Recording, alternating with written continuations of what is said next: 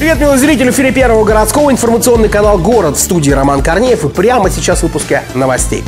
С корью пронесло. Ну, в смысле, заболевание не подтвердилось. В Ганино на остановке кто-то выбросил мертвую свинью. Кировчане воюют из-за собаки. Почти 800 человек пострадали из-за гололеда, а в город пришла весна.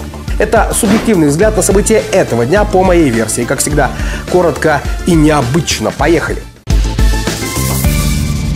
Случай Кори в 51-й школе не подтвердился. Об этом сообщили в Роспотребнадзоре. Напомним, что на прошлой неделе родители рассказали, что детям ограничили посещение школы. Старшеклассников в тяжелом состоянии увезли в больницу. Однако Кори у ребенка не подтвердилось. Был один случай, случай не подтвердился. Был диагноз выставлен был под вопросом, и он не подтвердился. Зафиксированных случаев кори в области нет. В Роспотребнадзоре напоминают, что самая надежная защита от болезни – вакцинация. Ситуация по кори остается на контроле. А вот заболеваемость гриппом и ОРВИ продолжает расти. За прошедшую неделю в больнице обратились 9 тысяч человек. Болеют все возрастные группы от малышей до взрослых. Добавляет настороженности и показатель по ковиду. Сейчас больше болеет взрослое население – Специалисты Роспотребнадзора просят кировчан не терять бдительности и следить за своим здоровьем. Рядом с конечной остановкой в Ганино нашли мертвого поросенка.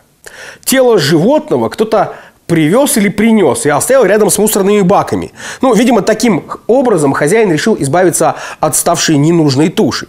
На место выехали сотрудники ветеринарии, они забрали тело свиньи на исследование. А вот в Кирове в одном из дворов обнаружили свалку. На улице Пролетарской из-за отсутствия баков люди оставляют мусор там, где придется. У шлагбаума, у подъезда, рядом с пешеходной дорожкой. Территория за торговым центром превратилась в помойку. Птицы растаскивают мусор в соседние дворы. Жильцы переживают, что скоро с домом заведутся крысы. А потом, чуть позже, еще и мертвые свиньи. Круглосуточный лай собаки доведет до суда. Между жильцами в доме на улице Карла Липкнихта разгорелся конфликт. В одной из квартир целыми днями лает собака. Пенсионерам из-за постоянного шума приходится пить успокоительное, а вот дети боятся выходить в подъезд. Обращения к участковому не помогают, потому что в полиции считают, что в этом нет никакого нарушения закона.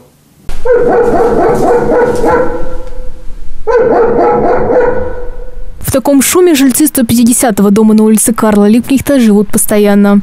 Лай и собаки, слышные на верхних этажах. Пенсионерка Елена Кунева каждый день начинает с приема успокоительных. Ну, успокаивает, потому что я говорю, я нервничаю очень сильно. Вот посидите вот целый день, это вот...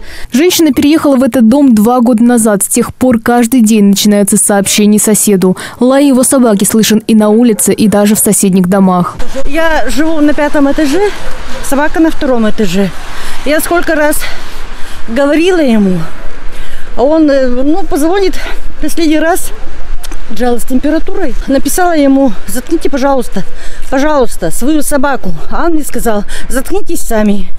Дети первого подъезда боятся проходить мимо квартиры. Мамам приходится провожать и встречать своих детей. Жильцы пытались поговорить с мужчиной. Так она ж никому не мешает, он сказал. Много раз просили соседа успокоить своего питомца. Когда хозяин собаки дома, овчарка молчит. Тихо в доме только по ночам. Вот давайте еще раз спрашиваю. Я какой-то закон нарушаю. Да при чем тут закон? Чисто по-человечески. Просто мирно с соседями хотите жить.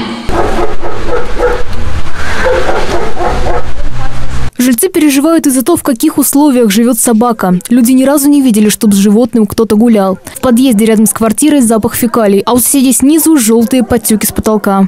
Меня везде отсылают. Потом по правам животных звонила. Звоните в прокуратуру. Прокуратура в милицию. Милиция говорит, а что нам делать? Не ночью она лает, пусть лает. Пока ее, пока она не сдохнет. А к нее гулять даже не выводят. Я вот ночью не сплю, бывает. Да хоть бы гулять, я не знаю, куда она порожняться. Так жалко животное, жалко не их.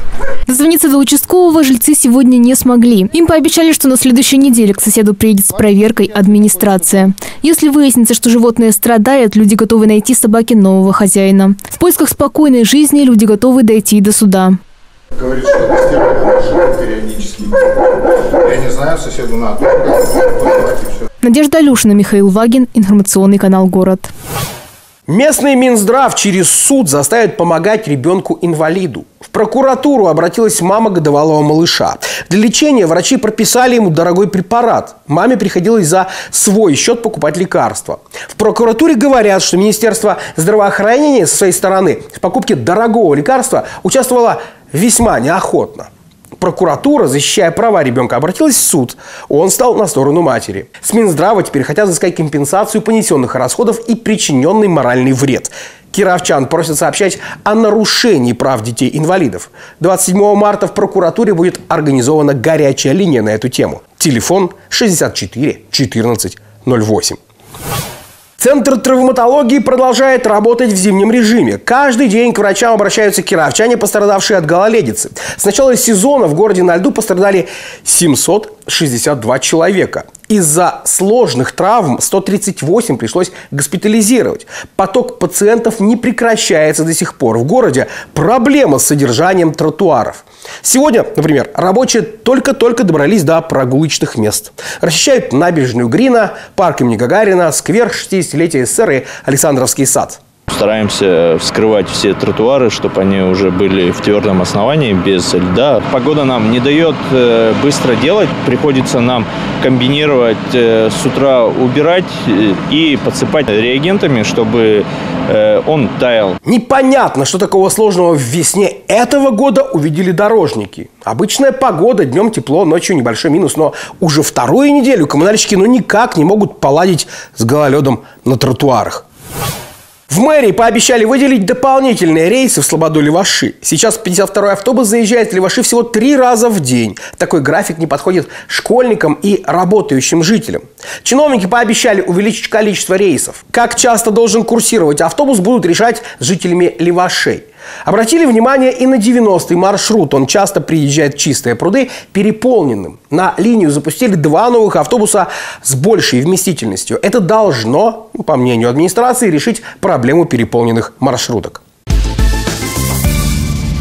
Кстати, сегодня день весеннего равноденствия. Это время, когда продолжительность дня и ночи практически одинакова во всем мире. После весеннего равноденствия официально начинается астрономическая весна. А значит, что мы с вами уверенным шагом приближаемся к теплу. То есть самое время задуматься о своем весеннем гардеробе. Жители Кирова-Чепецка могут посетить выставку-продажу текстиля и трикотажа из стопроцентного хлопка от ведущих фабрик России, Узбекистана и Турции. На ней можно приобрести комплекты постельного белья высокого качества. Мужские и женские футболки, спортивные костюмы, джемперы и кофты от 42 до 72 размера. Детскую одежду, а также полотенца различных размеров как для кухни, так и для ванной. На выставке представлены чулочно-носочные изделия, в которых вашим ногам будет тепло и приятно. Выставка работает в ДК «Современник» с 21 по 25 марта. Адрес улица 60 лет октября, дом 8А. В Киров пришла весна. В регион заходят теплые воздушные массы, а значит в ближайшие дни будет тепло. Несмотря на большое количество осадков в марте, снег тает очень быстро. За неделю снежный покров в Кирове сократился аж на 9 сантиметров. Основную норму по осадкам март уже выполнил. Самым теплым днем этой рабочей недели станет пятница, 24 число. Днем воздух в этот день прогреется до плюс 9. Сроки окончания волны тепла пока неизвестны. Будем надеяться, что зима отступила. И вот на этом сегодня все. В студии был Роман Корнеев, и я напоминаю, какой город, такие новости. Пусть и город новости будут во. Пока-пока.